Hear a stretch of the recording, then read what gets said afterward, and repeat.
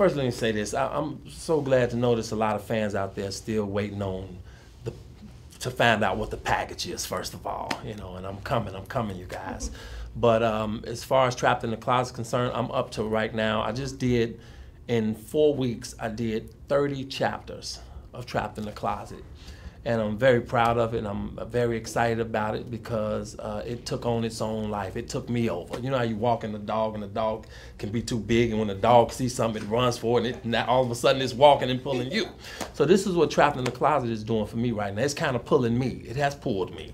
You know, and uh, there are a lot of cliffhangers, a lot of different chapters, uh, other characters that has created themselves into the story, and is very, very off the damn chain.